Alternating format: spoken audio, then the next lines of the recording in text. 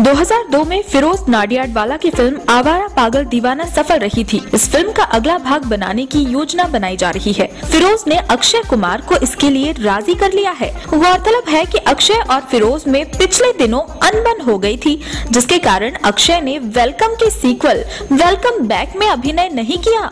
आवारा पागल दीवाना के सीक्वल को अहमद खान निर्देशित करने वाले है। इसमें अक्षय के साथ विद्युत जामवाल भी नज़र आएँगे। फ़िल्म की शूटिंग अगस्त से शुरू हो जाएगी। अक्षय इस फ़िल्म में काम करने के बदले एक मुश्त फ़ीस लेंगे। वे एयरलिफ्ट की तरह मुनाफे में हिस्सेदारी नहीं करेंगे।